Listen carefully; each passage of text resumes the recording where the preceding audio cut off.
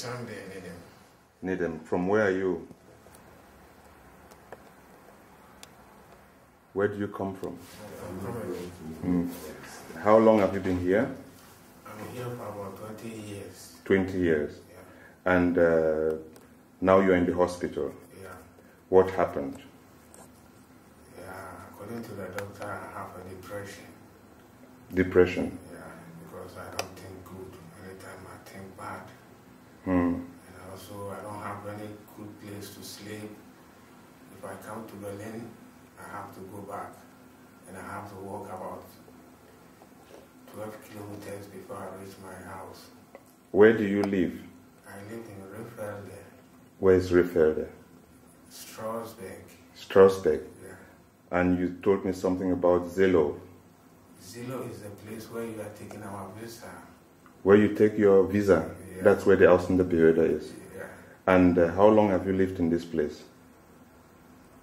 I lived there about 20 years. 20 years.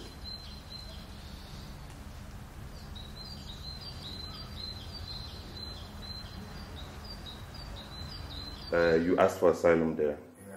and since then you've not got any asylum. And uh, last week uh, you came here, or was it this week that you came to the hospital? Yeah. This week. What made you come to the hospital? You know anything about uh, how you came here? Yeah. Because I was, my friend gave me a room just to relax, and I was drinking, and uh, I started drinking on the 3rd of, on the 3rd of January, and I drink about five or six cartons of beer. Cartons of beer. Yeah. And also, Chantre, I cannot count it. About 30 or 40.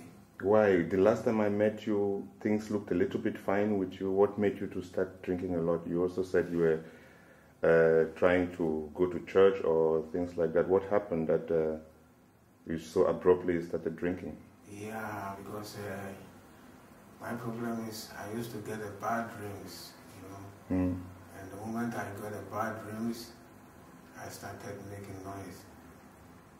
Dreams, uh, uh, when nightmares, Yeah. yeah, when you're sleeping. Yeah, when I sleep in the night, I used to see many, many things Mm. on my eye, whereby it was supposed to be. So So how did you uh, come to meet the people that you met? It was because you know there was action in the uh, Oranienplatz, or what made you to come there? Because I heard that you came there. That's when I came and met you. I, I called from Julia, Julia. Mm. I don't know his office, her office. Mm. So Julia called his sister to come and pick me from Peter Straße. Petersburgerstrasse. Yeah, And you were sleeping there, or yeah, sleeping there. So that's the place where this lady come and pick me from there. And then uh, from there they took me to the camp, and then they call you, and then they took me to here. and in this place you were uh, staying there with a friend or with whom? It's not a friend, just a friend gave me a room. A room there to be staying there.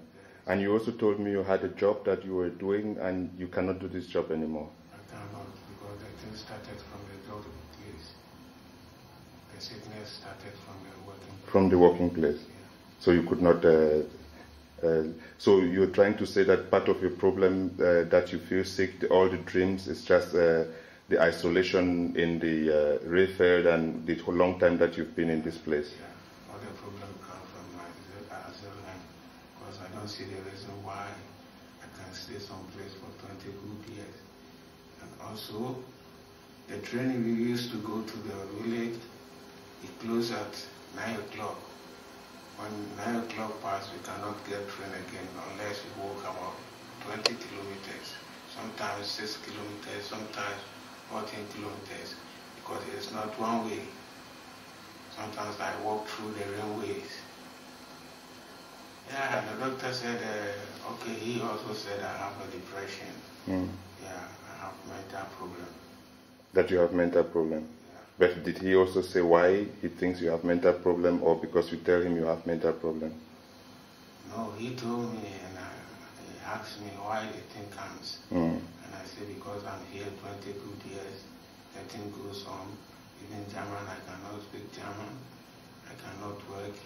And when you come back to Berlin, police control you, you have to pay a debt. And now I have a lot of debt to pay, whereby I didn't commit any crime. Mm. So, uh, you have a lot of debt to pay because of the different situations that you have coming to Berlin, for example. And if you're controlled, uh, it becomes a problem. And your Landkreis in Brandenburg. And uh, actually, normally there's supposed to be a law that says Brandenburg and Berlin, refugees can go there and come back, but each time they control you, you still have to pay money. Yeah, that's what they do now. And you cannot work, you cannot go to school. The work you were doing was just because of uh, friends that uh, got in contact with you. Yeah. And uh, so, what would you wish for yourself? What would you want to do? Now I don't want to go back to the village again.